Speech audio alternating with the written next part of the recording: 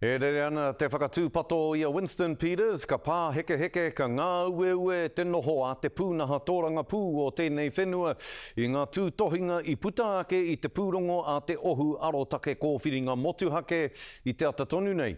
Ko tētahi o ngā tūtohinga, kia heke iho te ōrautanga e whai wāhi ai he rōpū tōrangapū ki te Whare Pāremata i te rima ōrau ki te toru ira rima ōrau, me te aha, Mā tēnā ka māmā ake te kuhutanga atu o ngā rōpū nohinohi ki te whare.